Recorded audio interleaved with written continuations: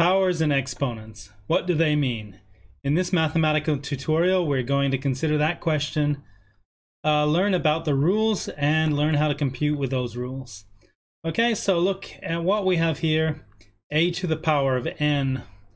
All right, so that means a times a times a times, and then dot dot dot times a, times a, where there are n of these.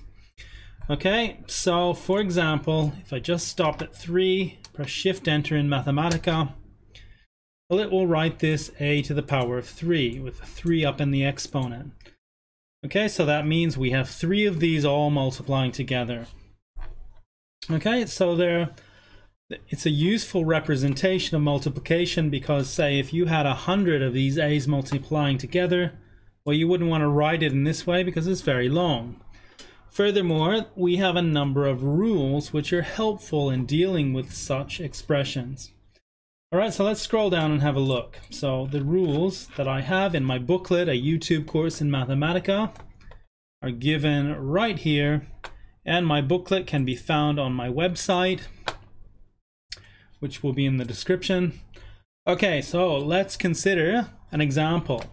Alright, so a to the power of m times a to the power of n. That's given by a to the power of m plus n. Now let's just consider this. So if we had uh, dot dot dot times a and there were m of these, okay? Let's suppose there are m of these and then I want to multiply that by a times a times a well, I'll put a dot dot dot here, right? So it looks somewhat different times a. All right, and suppose there are n of these. Now, I'm just writing, so m of these, and this is not code, I'm just writing n of these. Okay, how many a's are there together, all together?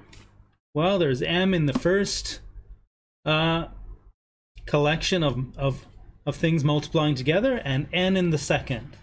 So if we were to multiply them all together, well, clearly they're m plus n. All right? So that's how we get this rule. It's pretty obvious. All right. Now, the next one, this says a to the power of m divided by a to the power of n is equal to a to the power of m minus n.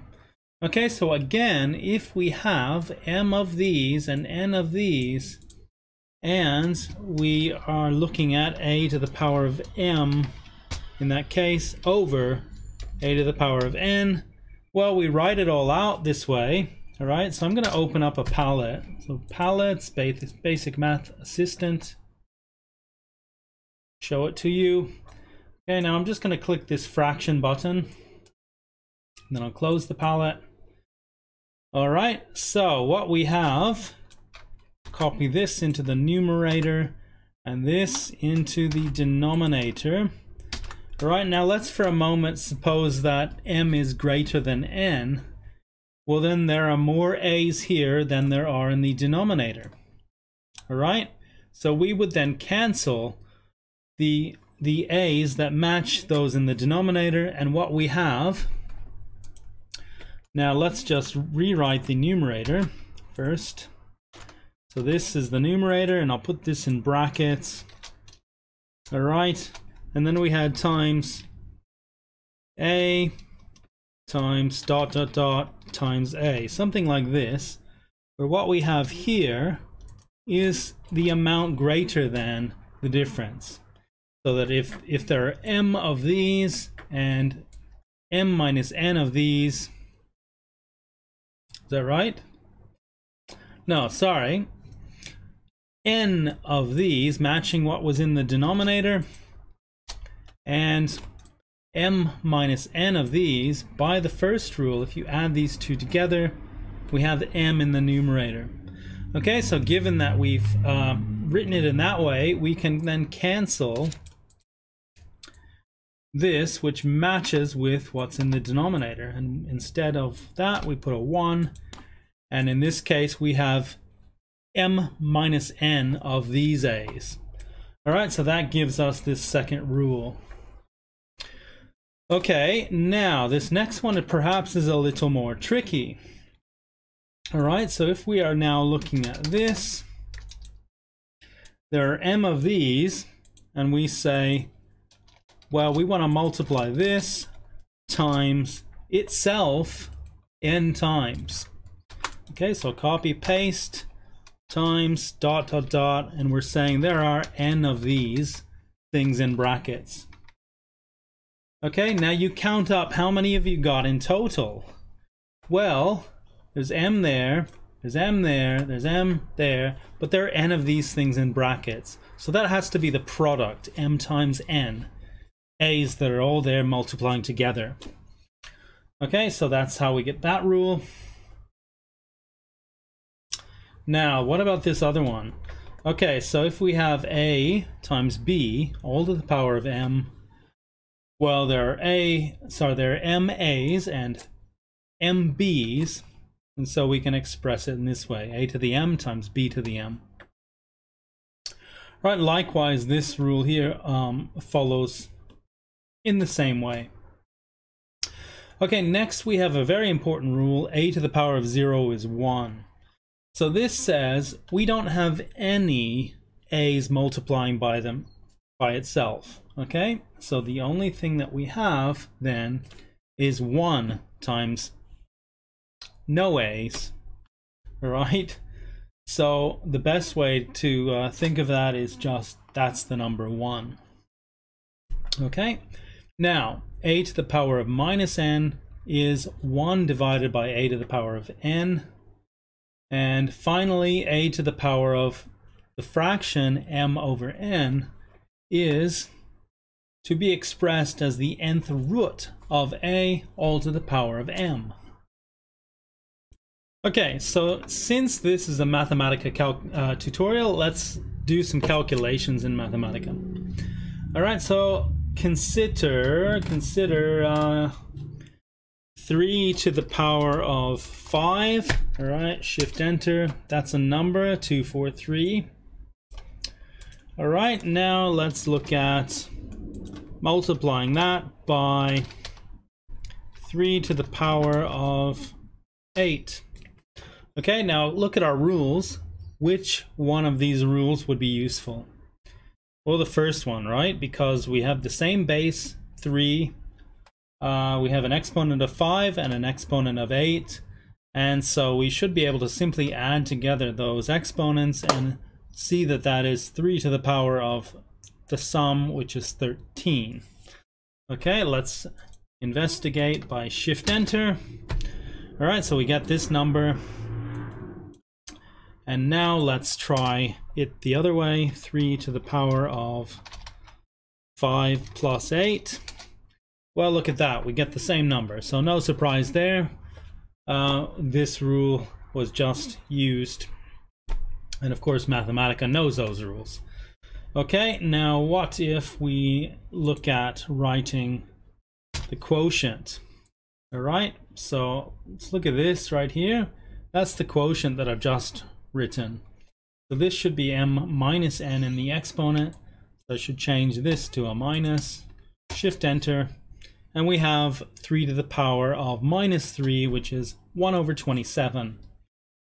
Okay, now these are numbers. So what about dealing with algebraic expressions. Well, that's fine. That's fine too. So if I change this to an x, shift enter, well, I get an algebraic expression, okay? x to the fifth over 6561. Let's do something more complicated. So let's come down here and have a look at this problem. Now look, you would want to do this by hand and in order to make sure that you understand the way all of these rules work, all right, you look at this expression and you one by one apply these rules. All right, so let's go through these rules first before we do this in Mathematica. So here we have x squared times y to the minus 3, and that's all to the power of 2. All right, now which rule says that I can um, put that 2 together with these other exponents? Well, it's this fourth rule right here. All right, we have two different bases, all right, so you might consider x squared is equal to a, and y to the minus 3 is equal to b, and then you can directly apply this fourth rule, right? Which would say that we represent that as a to the m, but in our case, a was equal to x squared. So this is x squared all to the power of 2, and then we can now use this third rule, okay, which says that that is a to the power of the product. So x to the power of 2 times 2. Likewise, we have y to the power of minus 3 times 2. All right, so here is our numerator. Now, we assume that x and y uh, whole different quantities. So we cannot join those, as in they're possibly different bases. So we leave it that way. Okay, now we can simplify this in another step and say that this is x to the fourth, multiplying that out, and this is y to the minus sixth. All right, now what, what would we want to do next? We would want to use this rule right here that looks like the seventh rule that says 1 over a to the power of n is a to the power of minus n. So that's useful because then we can simply add the exponents, okay? So we bring this up, and when we do that, we change the sign right here. You see that minus of minus 2. Okay, likewise with the y to the power of 4. When we move it up, and then we use the first rule that says we can add the exponents.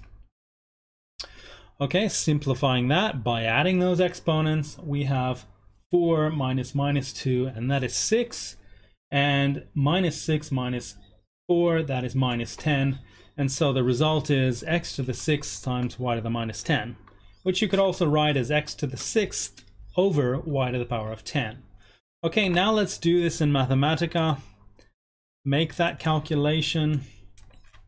I'll scroll down here and I'll input uh, well, look, I could open up a palette and do this, but I find it easier to just enter it in this way. However, I need to be really careful about the brackets, okay? So I'm entering the square that we have in the numerator, and inside that bracket I have x cubed, and then if I just press the space bar, that will give a multiplication, right? So that means times y to the power of minus 3. Okay, and I should say that a lot of my students would get the brackets put in the in the wrong place and get the wrong answer. So do be really careful about how you place your brackets. All right, and next in the denominator we have x to the power of minus 2 and then we're multiplying that so I put a space by y to the power of 4. Okay, now I have a bracket around the whole denominator, right? That says, in fact, I want the whole thing to divide this numerator. And that's the way you want to do it. If I left the bracket out, that might be misunderstood by Mathematica. Okay, now let's press Shift Enter and compare it with what we got on the PDF. Okay, so our answer is x to the power of 8 by y over y to the power of 10. Okay, let's compare, and that's exactly what we have right down here at the bottom. Alrighty, so that's just about all I have for you on powers. I hope you learned something, and check out some of my other basic videos if this is your thing. If it's not your thing, check out some of the more advanced things that I've done. Okay, I'll see you next time. Thanks for watching. Bye.